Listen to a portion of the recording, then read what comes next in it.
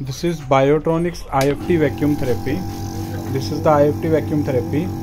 And any of the IFT you have the output of that IFT machine is connected to the input of this vacuum IFT now the current IFT output is getting converted into current plus vacuum. So I have given the output of the same in the input of the same. And uh, this output of this machine are these electrode vacuum electrode so you can see that uh, uh, machine is uh, working and the vacuum has been generated and the electrode is shipped to the surface.